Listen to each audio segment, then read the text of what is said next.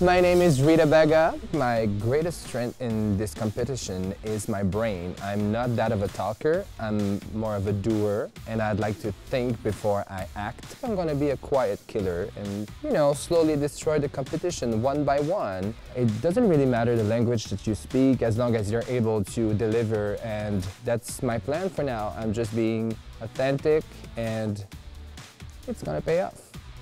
I've hosted many drag competitions in the past 13 years, but it's the first time that I'm competing.